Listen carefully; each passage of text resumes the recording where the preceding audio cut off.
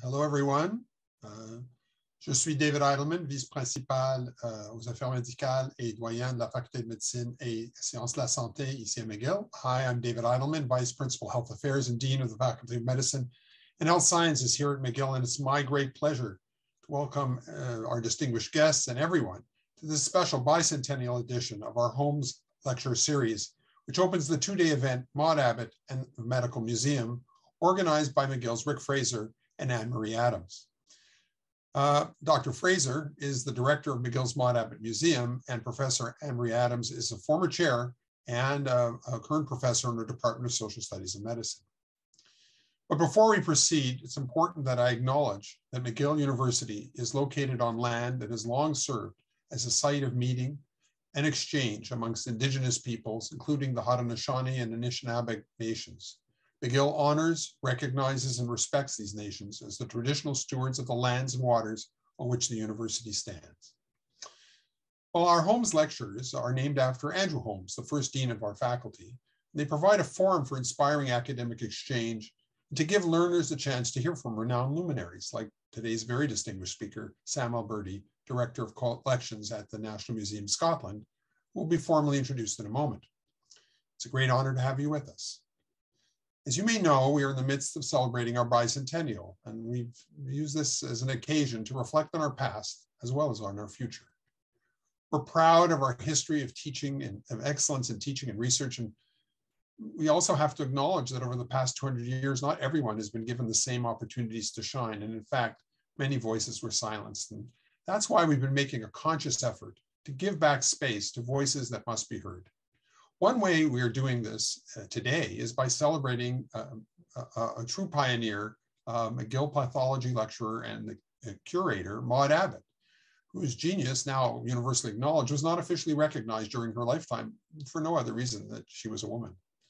Scholars like Rick and Anne-Marie have been working hard to rectify that. Tonight, we are in for a fascinating discussion of one of Abbott's greatest legacies, the development of the field of medical museology with Dr. Alberti's lecture.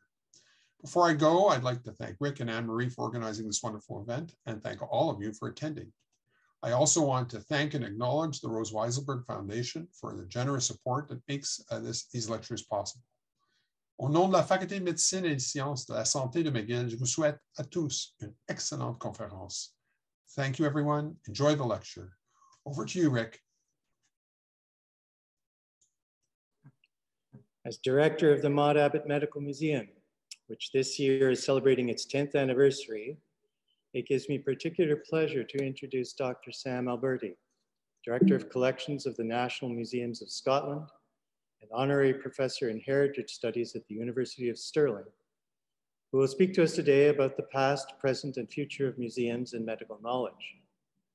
Dr. Alberti is eminently qualified to speak on this subject, having chaired and worked with many groups concerned with medical museology, and served as Director of Museums and Archives at the Royal College of Surgeons of England, with responsibility for the famous Hunterian Museum and the Wellcome Museum of Anatomy and Pathology, and as Keeper of Science and Technology for the National Museums of Scotland.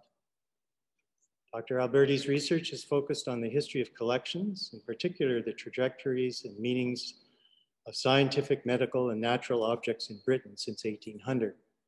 He's curated many exhibits on related topics, of which I will mention only two as examples of what he has done. War, Art and Surgery at the Royal College of Surgeons in London. And secondly, Anatomy, A Matter of Death and Life at the National Museum of Scotland. He's also written extensively on the subject of medical museology, including many journal articles and books with titles such as Morbid Curiosities, medical museums in 19th century Britain. His current research interest, interests include Cold War museology and the role of museums in the climate emergency. Dr. Alberti is widely known and respected as a scholar in the field and is a fellow of the Royal Society of Edinburgh, the Society of Antiquaries of Scotland, and the Royal Scottish Society of Arts. We are grateful that he has accepted to speak to us this evening as part of our celebrations of the 200th anniversary of McGill University and the 10th anniversary of the Maude Abbott Medical Museum. I'd like to ask you all to keep your cameras on for the duration of the talk, which will give at least an impression that we are all present in person. And Dr. Alberti will be available after his talk to answer questions, which I invite you to ask at any time via the chat box. And with this as introduction, I will now give the virtual microphone to Dr. Alberti. Welcome. Well, thank you, uh, Dr. Fraser. I hope you can hear me. If somebody gives me a thumbs up, that's great. So, uh, Dean Eidelman, Dr. Fraser, Professor Adams, uh, bonsoir. Merci pour l'invitation. C'est très généreux et je suis honoré. Malheureusement, j'ai utilisé maintenant tous mes mots français. Donc, I shall speak for the rest of the evening in English, which I think everybody will be much relieved. I'm delighted and honored, as I say, to deliver the Andrew F. Holmes VP, Dean of Medicine and Health Science Distinction Lecture um, uh, here, here in McGill and here in Edinburgh. Um, I'm particularly pleased because, as you know, we, have heard Andrew Holmes, co-founder and first dean. As I understand it, his most famous artifact is in the collection, is the Holmes heart, a specimen procured at autopsy in 1822 and presented, as I understand it, in Edinburgh. And I've been looking forward to hearing more about this from Professor Parton's lecture tomorrow. But that Edinburgh to Holmes to Abbott connection is very nice. So um, just a, a, couple of disclaimers. Um, my current role, I'm very uh, pleased to work with National Museum Scotland. I lead a team, lead and support a team of 130 curators and other collections professionals in art, science, nature, um, culture, and history across four museums and a collection centre. And our job is to activate a 12 million strong collection. And as we've heard from the generous in introduction, my own practice currently focuses on climate change in museums and the now startlingly relevant Cold War. But once upon a time, I was a medical curator. And tonight, I'm delighted to have the opportunity to return to my old stomping grounds and reflect and review the use of medical knowledge in museums. Now, in what follows, you'll notice a distinct bias towards the UK and an even more distinct bias towards museums in which I've worked. I'll be thinking about national museums and museums in higher education institutions, which I hope will be particularly relevant um, to those listening uh, with a particular interest in the Maude Abbott Medical Museum. And I'll be focusing where I can on Edinburgh and Glasgow as a, as a new Scot. We'll be talking about two sorts of collections, two different distinct species of medical collection, if you will. The wet or organic medical collection of pathology and anatomy, or the dry, you might say, inorganic collection of surgical and medical instruments and uh, uh, pharmaceutical pots and the like. But I'll be thinking about these things together. And some of the key messages I hope that will come across are that medical museums tend in initially at least, to be set up to celebrate their founders, who were usually great white men, capital G. The medical museums populated by the dead are actually about the living. And the medical museums use knowledge, museums use medical knowledge for good.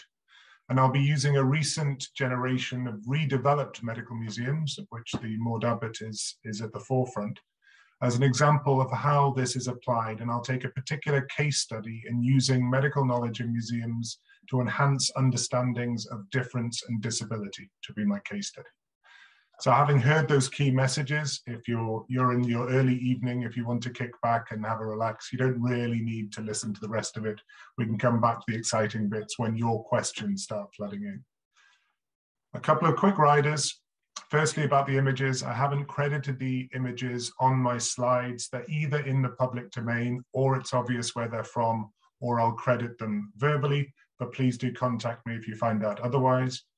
And also just an apology, it's uh, 10 p.m. here. I've forsaken my usual dram for water, but just forgive me if I start fading halfway through.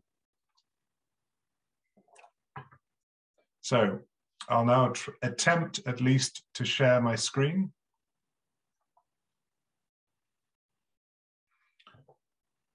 Great. So you've heard all about the um, uh, me and the topic, and uh, we'll come back actually to, to that image later because I want to start, where else, with Maude Abbott. Now, I've been a fan of Maude, and I feel after 20 years that I can, you know, use use the we're on first name terms. I think, um, and you might think this is a rather nerdy enthusiasm to have, but I have a feeling that tonight, of all nights, I'm among friends. For me, Dr. Abbott was a legend for co-founding the International Association of Medical Museums, and also for setting up the Canadian Medical War Museum, that I had so much fun discussing with uh, Dr. Wright and Professor Lyons and, and Dr. Fraser. Now, actually, this evening, I'm not going to talk a great deal about Maude, but her presence will be there behind us. And I, as I like to remember her from this rather fine postage stamp. But importantly for what I will be talking about, she used her collection to understand the human heart in particular, and thereby to, for clinical benefit. to use medical knowledge in the museum to benefit humankind. In her case, via her famous atlas, which Ingenium uh, calls a life-saving Canadian innovation, and quite right too, I think. But let's step back. Let's go back into the deeper history. I'll start the story in um, the middle of the 18th century when anatomical collections in their current modern form began to emerge. And these anatomical and anatomical and pathological collections have their history in medical training. Now, amongst these collections, the role of William and John Hunter in this development, the two brothers um, from Scotland who made their careers and their renown in London, even setting aside partiality of my, my, my former workplace, you can't overestimate the role of William Hunter and John Hunter in setting up, uh, certainly in the UK, um, medical museums um, as they came down to us today. Both of them gathered sizable and diverse collections, not only to teach anatomy, but to emphasize their own culture and refinement. And we'll see this over again. Posthumously, their museums were respectively transferred to the University of Glasgow and the organisation that became the Royal College of Surgeons of England. Now, if we were all in a room together, which would have been nice, and maybe next time, um, I would at this point ask the learned members of the audience to call out the, um, uh, the names of the medical museums. I have three or four slides throughout the lecture where there's a quad of medical museums and it's uh, uh, to test you on your uh, museological and architectural knowledge. Now, perhaps I won't do that this evening, but if you see a slide with four medical museums on, I'll ask you just a little tally of the ones that you recognize. So we'll have a little game of spot the museum, and at the end, perhaps um, you can volunteer it. If anyone got 100%, um, perhaps there'll be a prize from, uh, from the, the Maude Abbott Medical Museum. Who knows? So here we have um, representation of the buildings of a generation of institutional museums that came from these private museums in the 18th century and were absorbed into larger institutions, into colleges, hospitals, proprietary medical schools, and royal colleges of surgeons, big hint right there. And they all stocked sizable teaching collections. In short, if you were uh, going to teach anatomy or pathology or any kind of medicine, you needed a large collection. And so they had large collections in top left, University of Glasgow. That's the original Hunterian Museum based on William Hunter's collection. Bottom right, the Royal College of Surgeons of England based on John Hunter's collection. And then anything um, Glasgow and London can do, clearly Edinburgh, bottom left, can do better. That's what is now the Royal College of Surgeons of Edinburgh and top right, the Royal College of Surgeons of Ireland. So a royal museum, a royal college rather, needed a museum and, as we can see from this, needed a healthy set of pillars out front as well.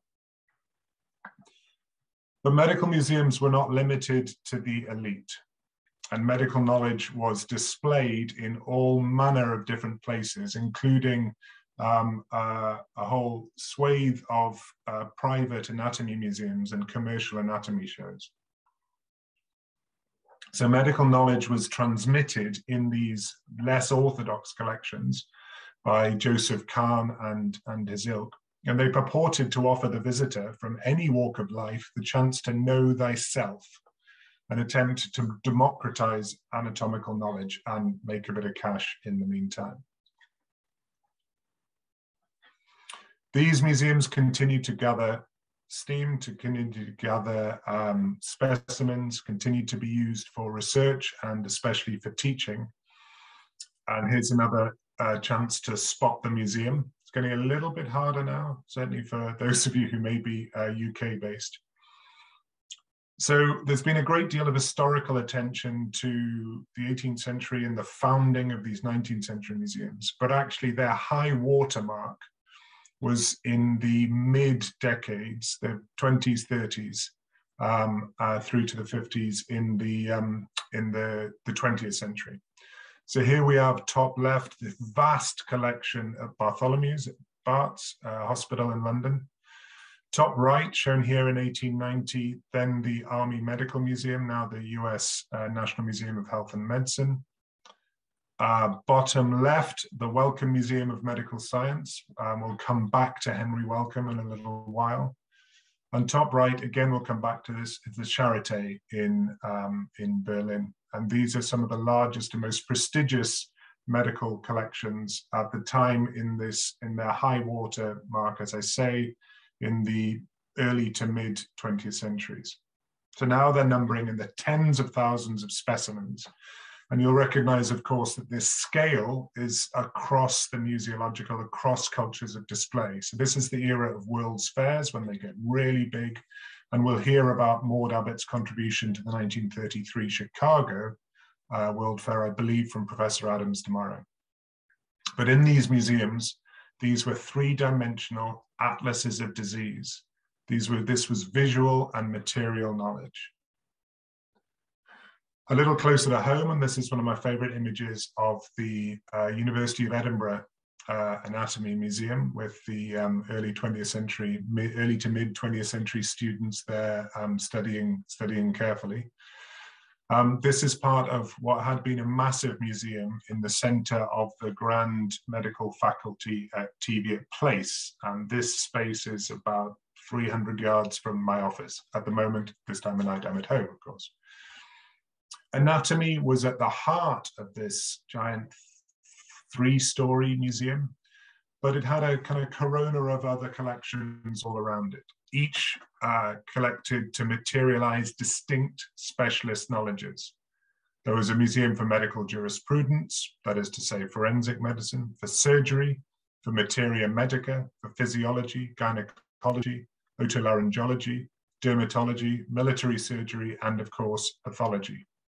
They continued to be really important teaching resources, as you can see here, through the mid 20th century.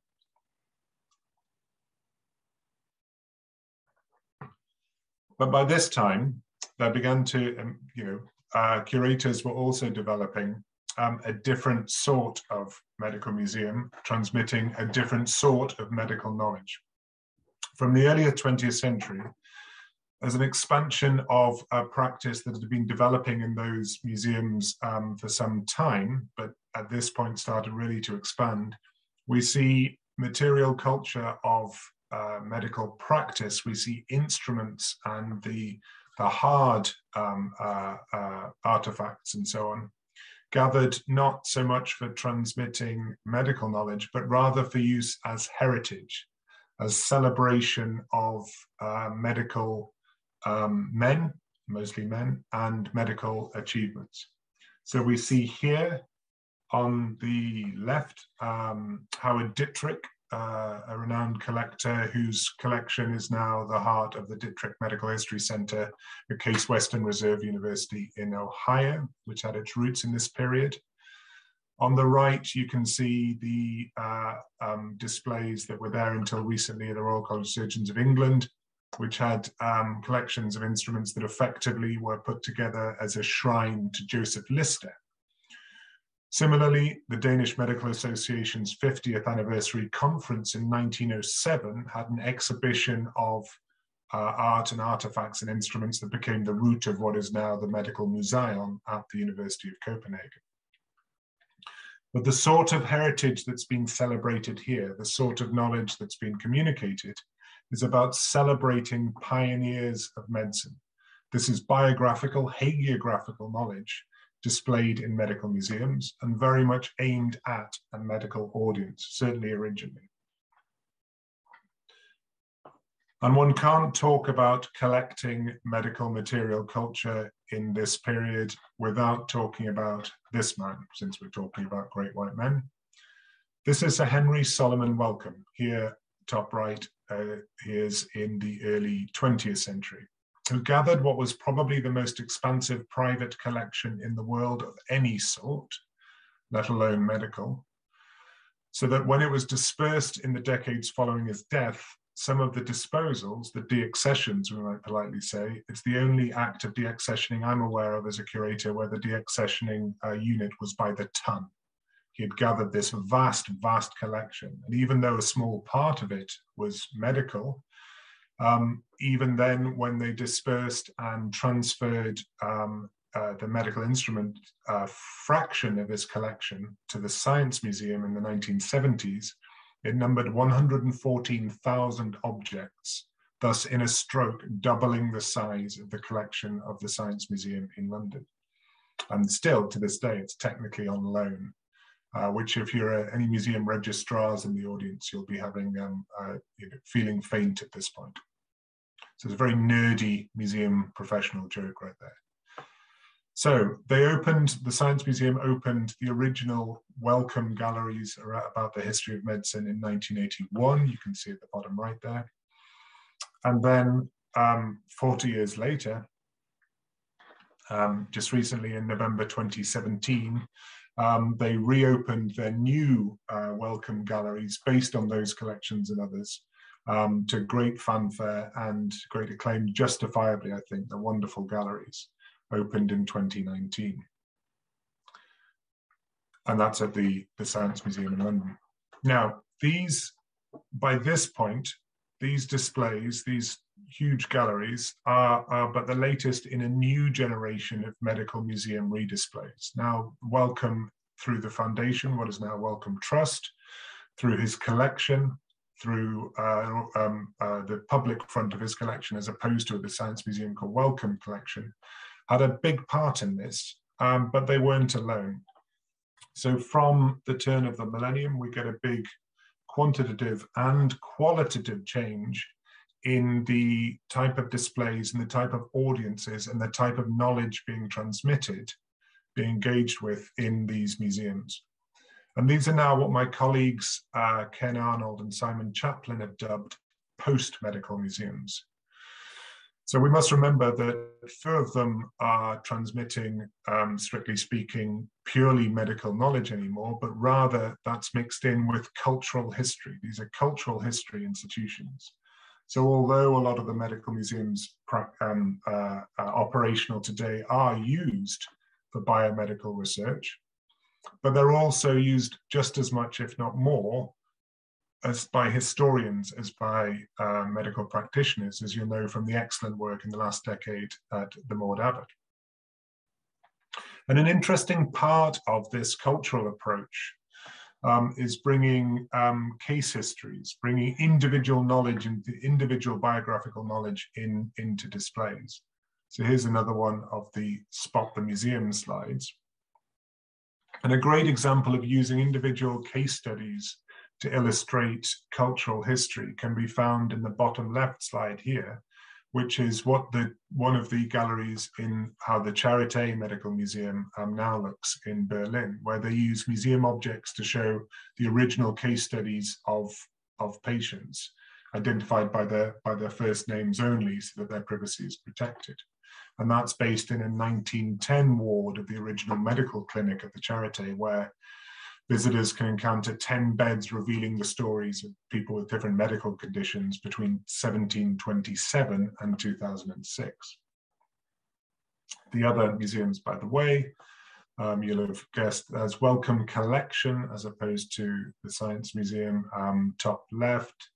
Um, bottom right is the Mutter Museum at the uh, College of Physicians in Philadelphia, and top right is the Royal College of Surgeons of England, the um, Hunterian Museum as it was um, until uh, a couple of years ago, where they closed for, for refurbishment.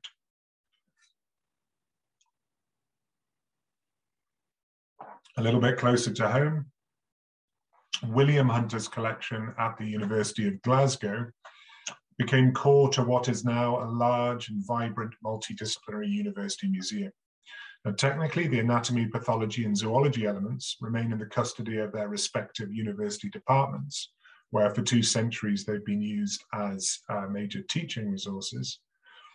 But the anatomy department now opens its galleries and museums to students and researchers and have installed a new store for the preparations and the models that are not on display.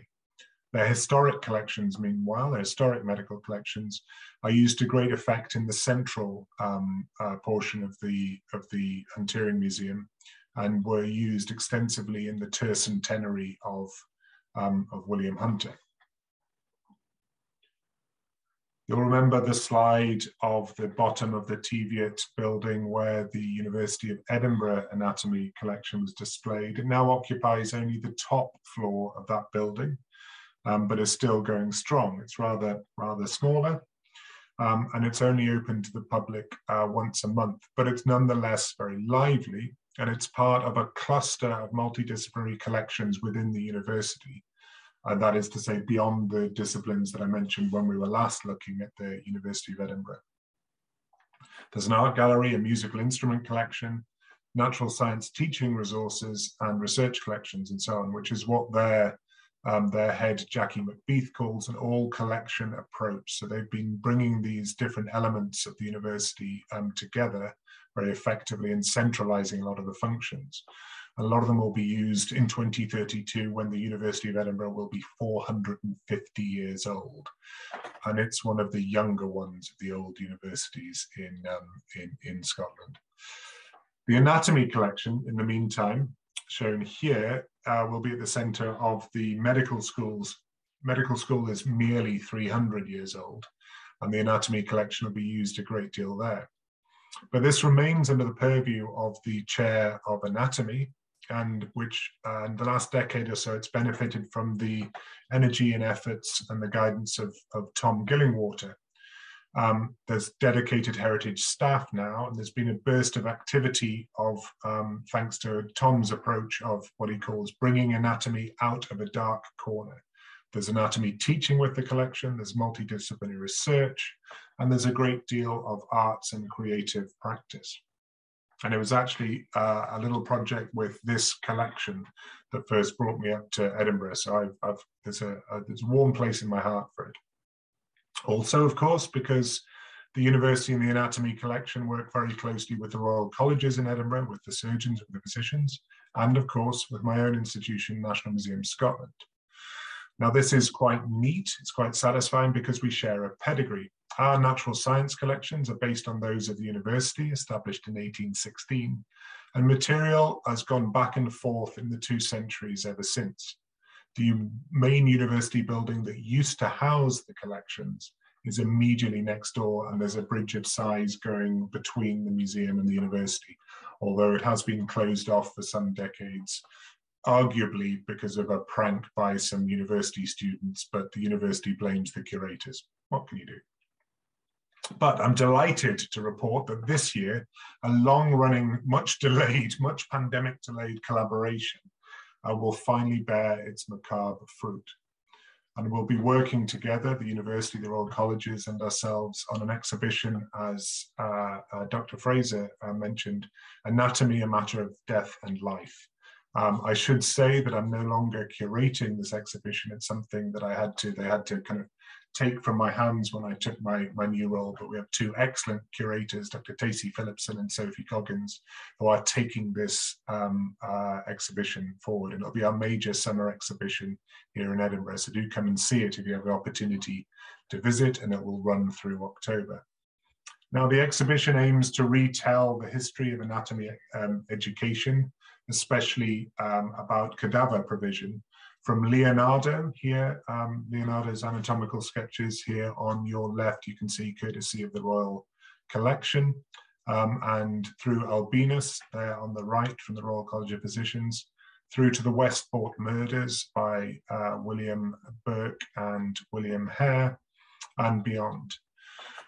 We're looking at um, the roots, uh, heterodox and orthodox, whereby cadavers came to be used and why they were used in anatomical education, not to forgive some of the um, practices and the grave robbing and the murders of William Burke and William Hare, but rather to understand in relation to social context, especially, and thinking a lot about the poverty um, of the um, individuals whose bodies were, were dissected. But we'll be bringing the story right up to date to voluntary body donation as it's practiced now in Scotland. And we'll seek to encourage visitors to reflect on their own approach to their body. And that is, we'll be using medical collections once again to encourage beneficial behaviors and to encourage greater understanding of social context. So this is one of a range of ways that this new generation of post-medical museums, if you like, are being used to advocate for different elements of public benefit. And for the rest of my time, the next 10 or 15 minutes or so, I'd like to focus on one particular way that medical museums have been used to, um, for, to advocate for public benefit, for the good, and that's to look at how medical museums are used to appreciate and understand difference and disability. So, right from the very start, pathological collections have included material evidence of difference and disability. Here, for example, is a curved spine from the body of a patient dissected by John Hunter. We don't know who it was or how John Hunter came by their body, but like many of the specimens in the museum, it shows a condition that still affects patients today. Historian Ruth Richardson has written eloquently and movingly about the specimen, as she herself lives with a related condition, scoliosis. But I'd like to reflect on how and um, where we've breathed life into uh, material like this, how we can use them to connect with people today. And to do that, I'll explore some examples from UK museums in the last couple of decades. Now, a lot of the work I'll be talking about, it stems from a lively group um, uh, in the Museum Studies Department at the University of Leicester, um, uh, you know, spearheaded by Richard Sandell and Jocelyn Dodd. They worked, for example, with the Royal College of Physicians in London on a project rethinking disability representation, looking at fine art and portraiture originally, which gave rise to a, a fascinating output, Reframing Disability, back in 2011. As part of this project, they re-examined uh, 17th through 19th century portraiture, studying how disability had been represented over time and using these to provoke uh, dialogue with contemporary artists and activists, many of whom live with disabilities. And this is a recurring theme throughout the projects I'll be talking about. They displayed historic collections, such as uh, this portrait of Thomas Inglefield, um, the artist, uh, born in 1769, this portrait from 1804, and juxtaposing with uh, uh, portraiture, photographic portraiture of the focus group people they worked with, including here Karen Sutherland, who's from Edinburgh, which is why I like picking this one, uh, photograph here by Lynn Weddle from 2011. Now there's an important issue here, an important uh, opportunity here that um, the Leicester team and the curators they worked with used the project to engage with medical versus social models of disability using collections from medical museums. That is to say, whether disability is considered an individual problem to be fixed with medical help, or whether society should rather adapt to um, around um, disability and difference. And this theme continued through later projects.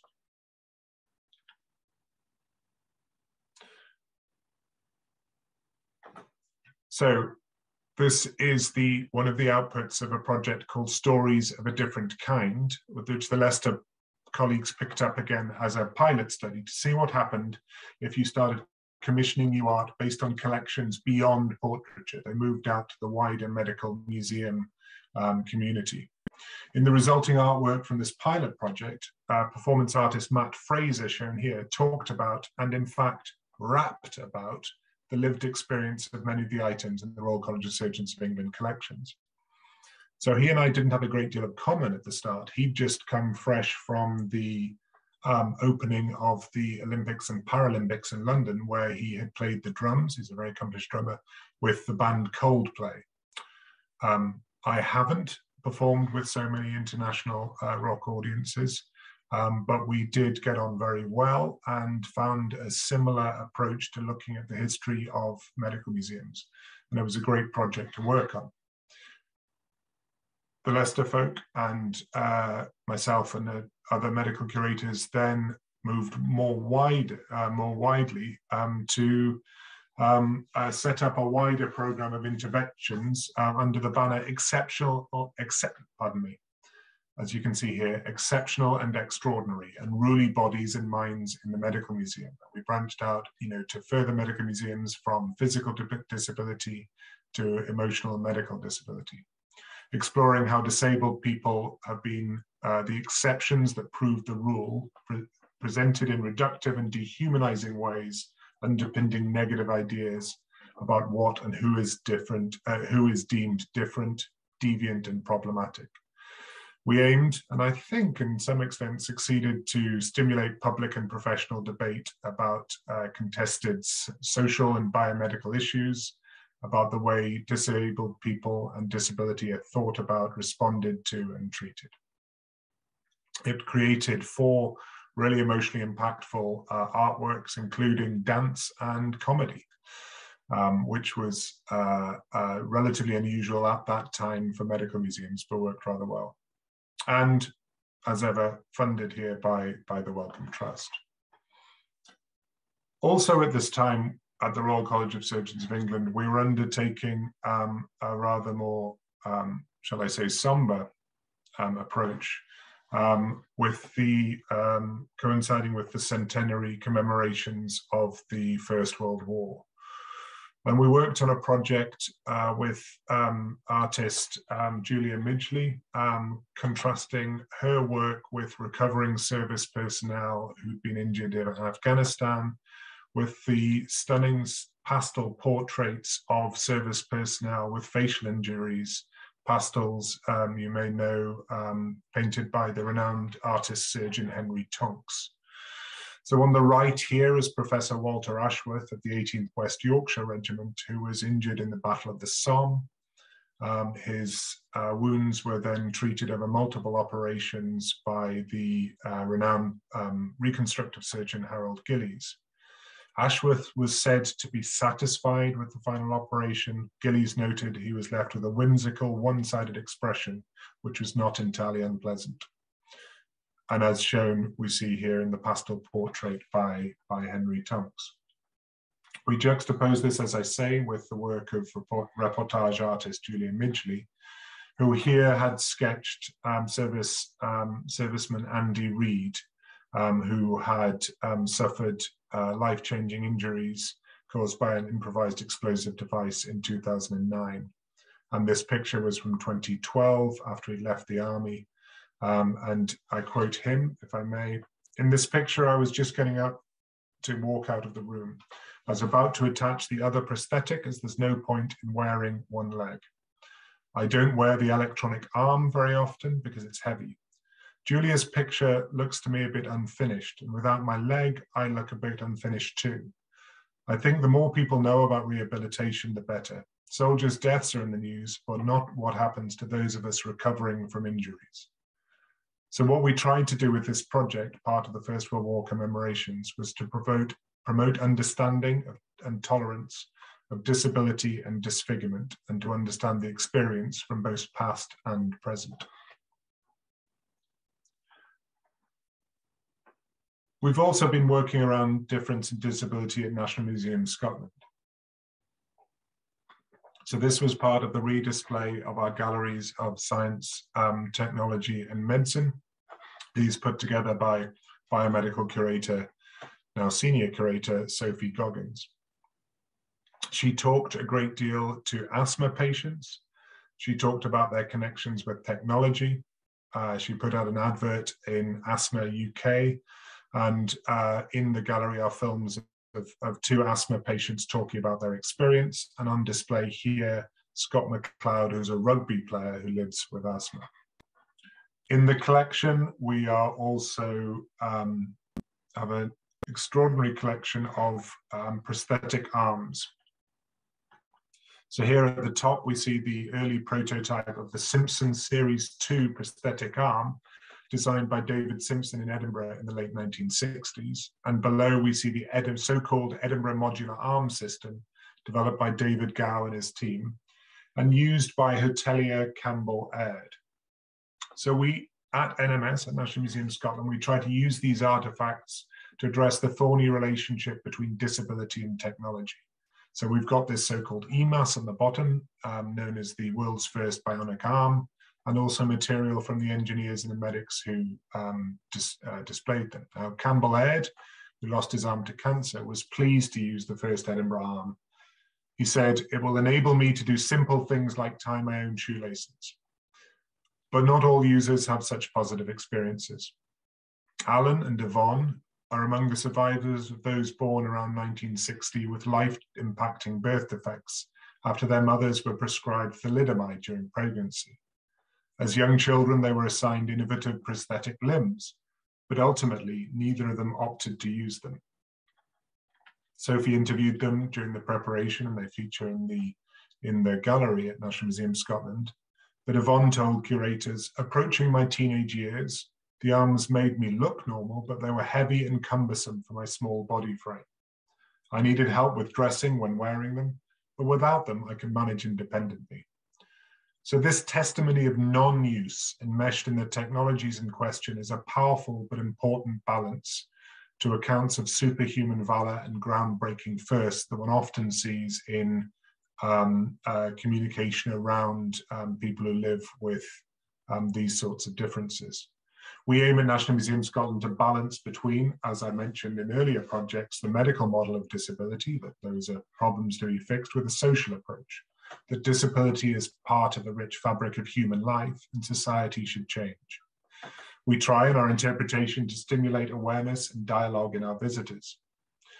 By taking an advocacy approach, we're able to collaborate effectively not only with users, but also with the surgeons and prosthetists who might have been alienated by a much more activist stance. So we take an advocate stance rather than activist stance. And I'd be happy to come back to that in questions if that's of interest.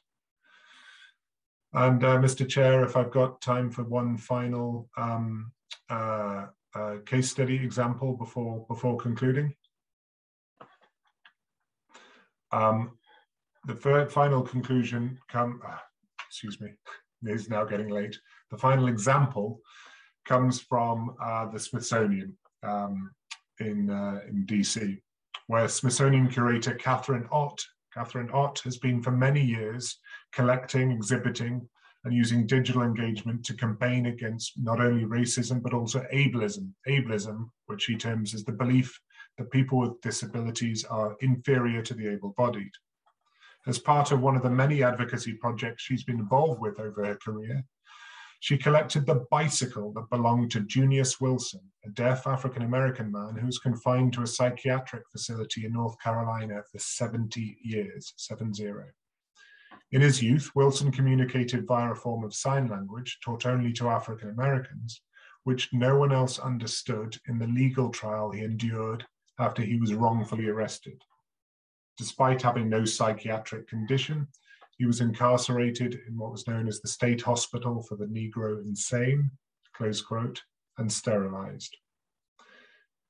His bicycle's presence in the National Collection speaks of the limited freedom he gained later in life after he was released.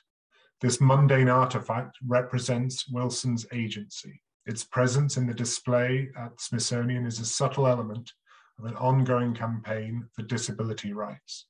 These are medical, medical knowledge, medical and cultural knowledge used in museums to promote public benefit for the good.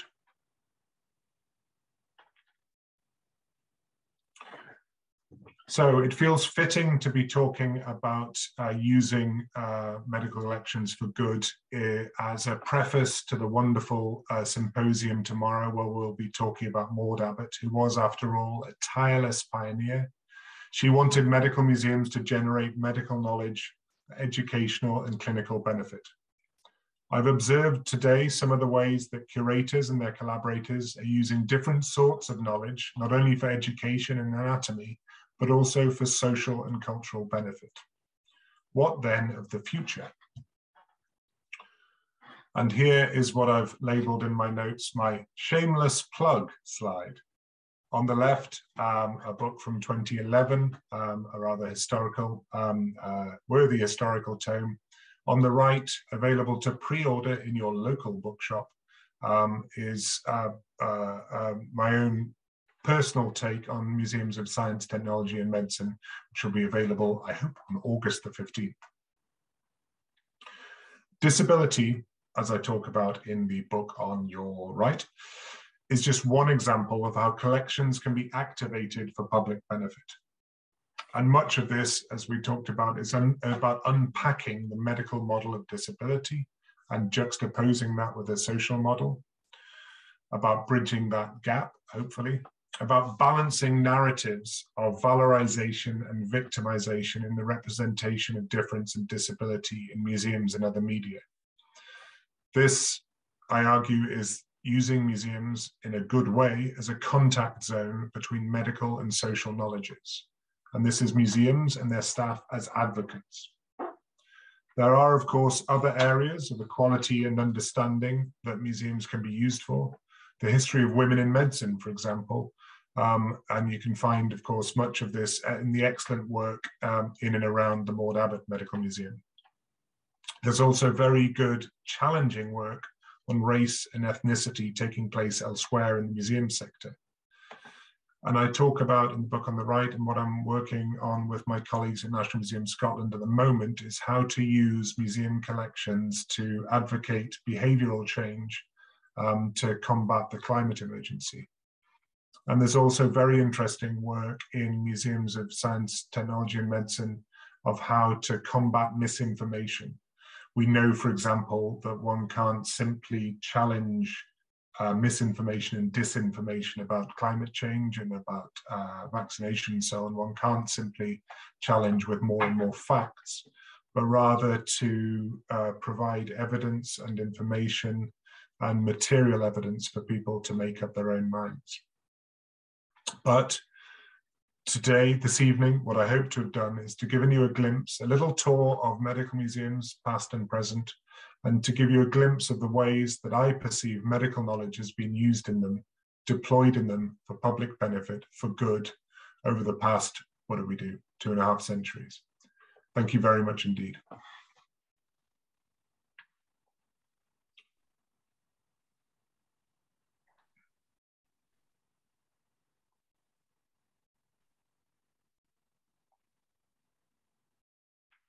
Oh, thank you very much, Dr. Alberti, Sam. Um, I'm Annmarie Adams, an architectural historian in the Department of Social Studies of Medicine here at McGill. And on behalf of everyone in the audience and the Faculty of Medicine and Health Sciences at McGill, I'd like to thank you for your splendid lecture. What an amazing way to celebrate Andrew Holmes. I hope I got the math right here, 225th birthday today. He was born in 1797. Um, of course, I especially appreciated your um, your attention to the relationship of architecture, the architecture of the museum and the collection. And uh, I think we're all inspired by your new work on difference and disability. I'm not sure if you would remember, but when we met in 2014 at the Hunterian at a conference, um, and we were just talking casually about Maude Abbott between some papers, you referred to her um, as the mother superior of medical museum curators. and that has always stuck with me and it has inspired a lot of uh, my own work on Maude Abbott. So I, I wanted to say that publicly. And of course, if you were here in person, we would have a chance to take you for a nice dinner uh, and, and, and we would give you a small gift, which actually I'd like to bring to you in Edinburgh next fall when I'll be there. But alas, on Zoom, we are limited to applause and deep thanks.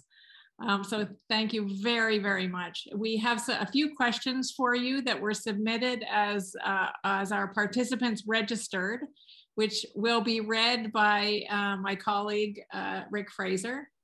And I think, I'm not sure how much time we have. We'll be ending at 10 after seven, um, but uh, we'll also be monitoring the chat. So over to you, Rick, if you've got good Wi-Fi. So first question. Uh, I'll give you perhaps some of the easy ones first.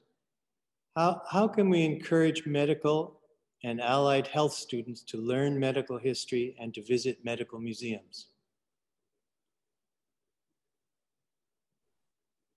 Well, um, my own experience is that once we get them into the museum, they're kind of hooked. So the um, uh, the knack is is getting them in. Now, I'm, I hope I hope there are medical students in the audience, and um, I uh, hope I will not offend anyone by saying offering um, social occasions to get them in the museum if it's appropriate, and you know if uh, um, uh, you can is a is a very good way.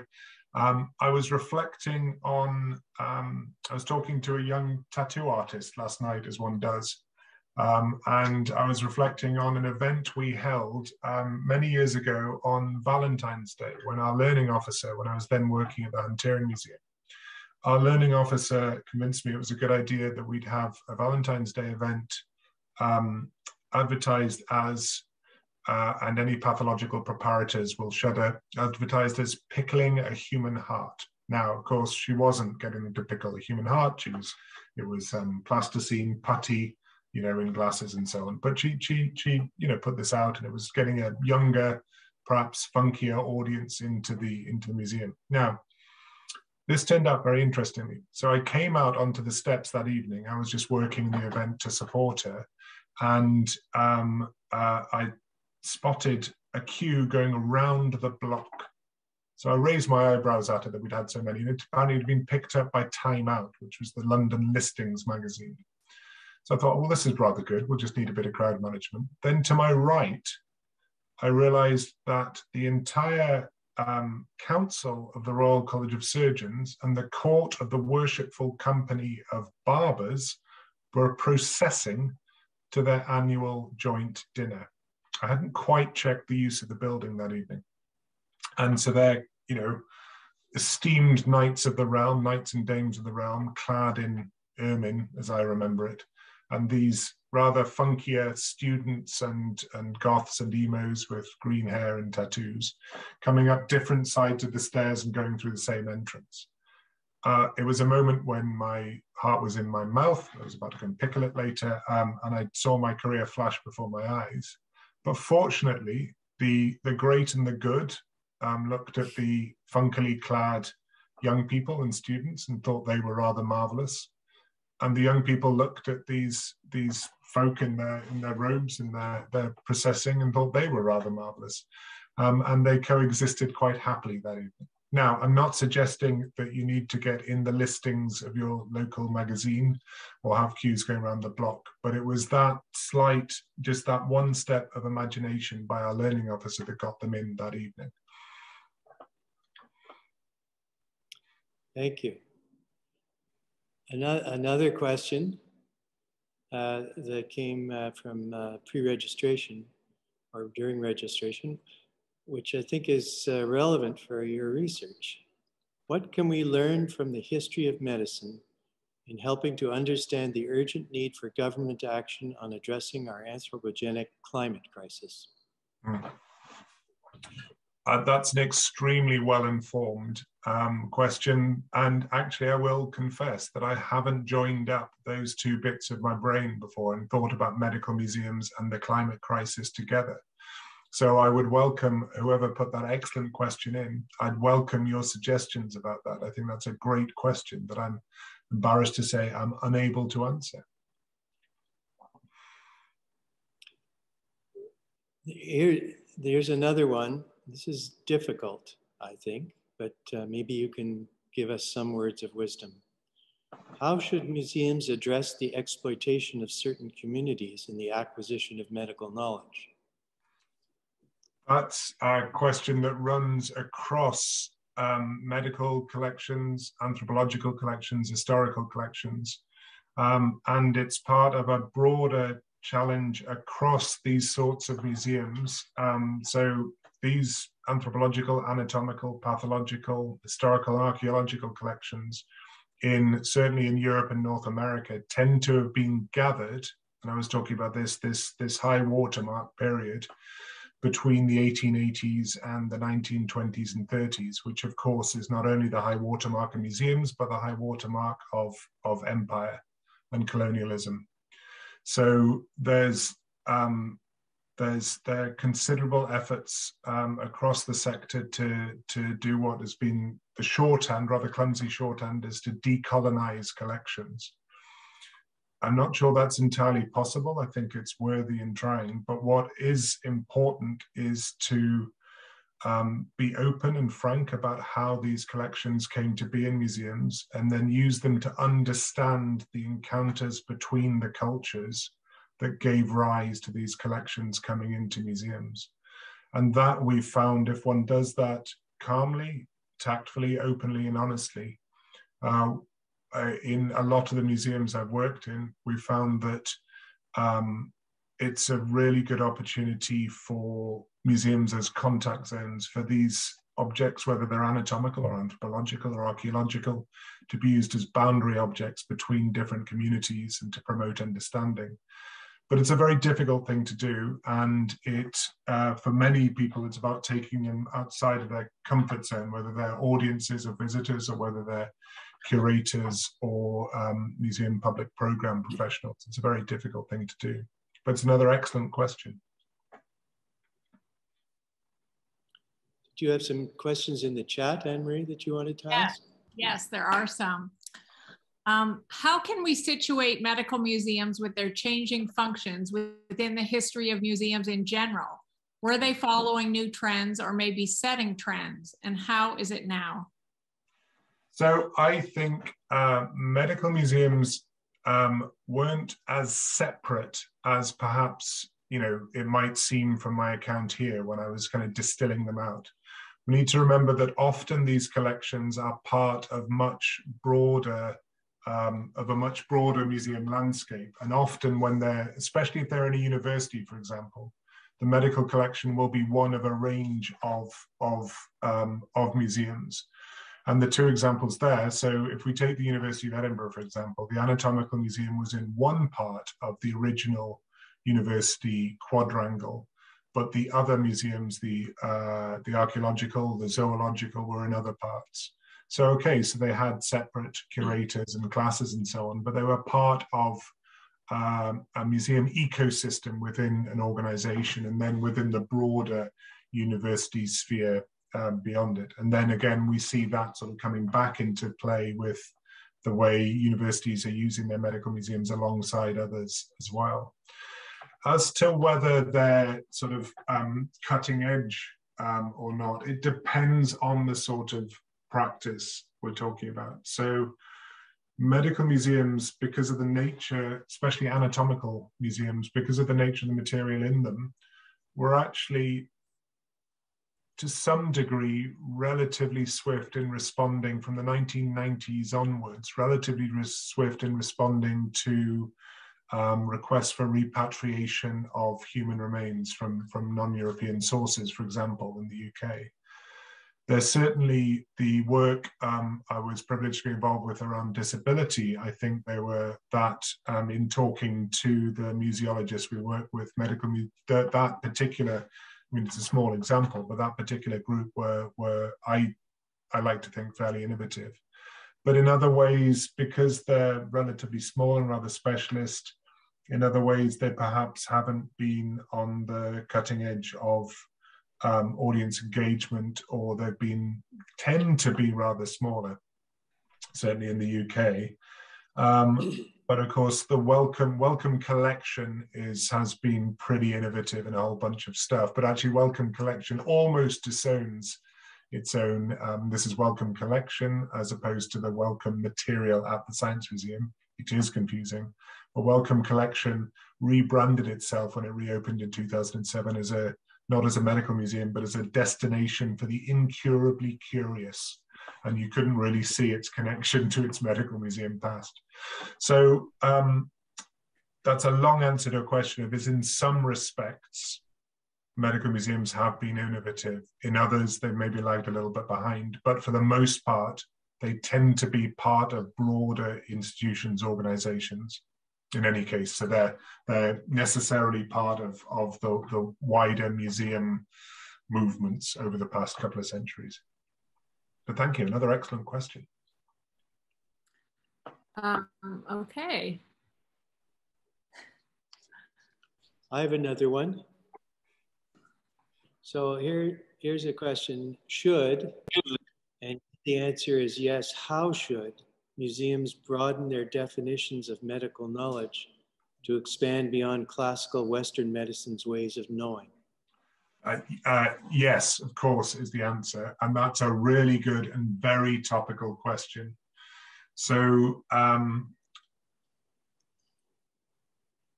there's a very interesting case study of one museum whose stakeholders, whose senior stakeholders did not consider Western medicine to be part of the history of medicine or did not want it presented. This was a little while ago, I should say, in a museum that I, that given we're being recorded, won't mention, given especially now that that museum has recovered from this um, misconception. Um, the challenge is that a lot of the medical museums, the core collections that we have inherited, have been gathered from, you know, gathered by white European men about white European men. And that's a problem to overcome. It can be overcome. Perhaps the surprising exception to that rule was um, Henry Wellcome who gathered just in such vast quantities and was fascinated by juxtapositions and contrast between different cultures that actually the Wellcome collection is incredibly rich in both European and non-European uh, medical traditions. And that's something we can all aspire to. But that's a very good question. Thank you. Okay, there's, I think we have time for one more. And uh, it's are any science museums or medical museums using genetics in education about disabilities, racism, etc.? Um, we're using genetics, but not in those areas just yet. I think the time is ripe to look at that. Two challenges. One, as in many things, incredibly difficult um, uh, area to, to, to, to grasp and to understand and to not to bring with it um, possibly damaging misconceptions. And secondly, um, because for the most part in museums, you want to evidence your stories, you want to tell your stories with material culture. And that connection would be challenging, is challenging to materialize in material culture. Um, you know, not least because genetics, like many sciences, you know, as the um, as the um, uh, as the, the science develops and advances, things become faster and cheaper and smaller and kind of less impressive to look at. But that's something we have to deal with all the time. So that's a real, I think the potential there is very strong. Okay, should we ask one more? I, uh, I have one uh, one ahead. from the chat, if you don't mind, since, since Dr. Eidelman is, is with us, the Dean of the faculty, should medical history be mandatory in medical school? I would point out that I'm not the speaker. I, I will answer for the Dean and say categorically yes. or as far as possible. I think it benefits medical history, medical museology, uh, under the banner of medical humanities, I think can greatly benefit and enhance a, um, a medical curriculum. And I've worked with medical curriculums, curricula uh, for that for that purpose. And um, you know, there's evidence that it does benefit um, medical back back into benefit medical training. But then again, that evidence is often gathered by medical humanists, so you might want to take a little chat there. But um, it's not surprising that I would say yes. I think. We, we do, just for the record, have uh, lectures in medical history. We do not have uh, maybe as much as some people would like, but the, the Department of Social Studies and Medicine is part of the School of Medicine in our faculty. And so we are committed to humanities and medicine. Yeah, so perhaps on that high SSOM note, we should um, call it an evening for you. We appreciate how late you've stayed up to be with us. It's a fantastic lecture. You've really inspired us. And uh, thanks to everybody for coming tonight.